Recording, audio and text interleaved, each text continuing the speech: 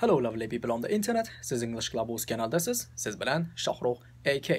Bugungi darsligimiz pronunciation, ya'ni talaffuz qilish haqida bo'ladi.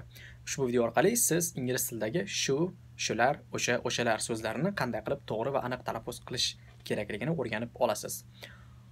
Xo'p, keling birinchi shu yoki bu so'zdan boshlaylik. Ya'ni this yoki this yoki this, this.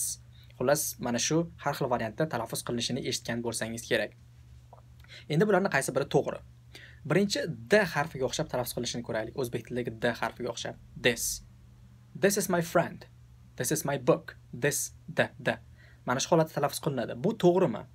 Bu albatta to'g'ri. Bu amerikancha aksent bo'ladi. Ba'zi bir amerikaliklar shunaqa talaffuz qiladi. Bu to'g'ri. Siz shunday talaffuz qilsangiz, albatta to'g'ri talaffuz qilayotgan bo'lasiz.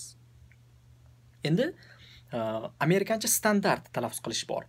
Tilni uchi tilingizni uchi biroz juda ko'p emas ozgina chiqadi. Z harfiga o'xshab talaffuz qilasiz. Ya'ni this this this. Mana shu holatda. This. This is my book. This is my friend. Mana shu holatda bo'ladi. Bu to'g'ri. Agar shunaqa talaffuz qilsangiz mana shu amerikancha standart talaffuz bo'ladi. Endi tilingizni uchini biroz ko'proq chiqarsangiz britancha aksent bo'ladi. Ya'ni this this this this. This is my friend. This is my book.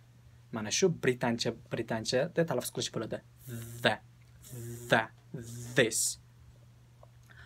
Xo'p, endi yana bitta talaffuz bor. Buni ko'p ko'pincha ingliz tili ko'pincha emas, doim ingliz tili o'zini ona tilisi bo'lmaganlar talaffuz qiladi. Ya'ni z. Oddiy z harfi o'zbek tilidagi z harfiga o'xshab.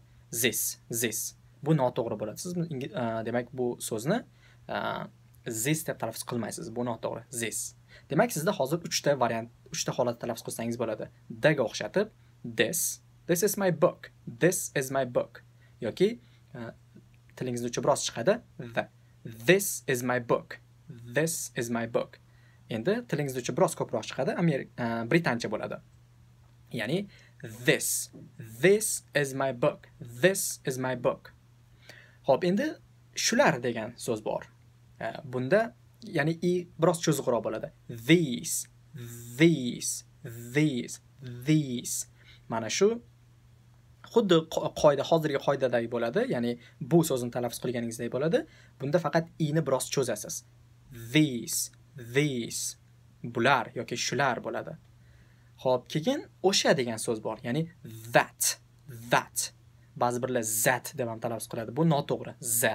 Hech qachon bu so'zlarni o'zbek tilidagi oddiy zaga o'xshab talaffuz qilmang. Bu noto'g'ri bo'ladi. Zat. Noto'g'ri. That yoki that that mana shu to'g'ri bo'ladi. Ba'zi bir amerikaliklar shunaqa talaffuz qiladi. That uh, that that o'sha. Endi oxirgisi those those those degan so'z bor. O'shalar degani. Demak those those mana shu o'shalar so'zini talaffuzi bo'ladi. Ho'p umid qilamanki bu darslik sizlarga e, ma'qul keldi. Qisqa bo'lsa ham va nimadir o'zingizga foydali narsa oldingiz. Agar sizga yoqqan bo'lsa layk bosishni unutmang. Agar kanalga qo'shilmagan bo'lsangiz albatta e, qo'shilish tugmasini bosib qo'yish yodingizdan chiqmasin. Keyingi darsliklarda ko'rishguncha salomat bo'ling.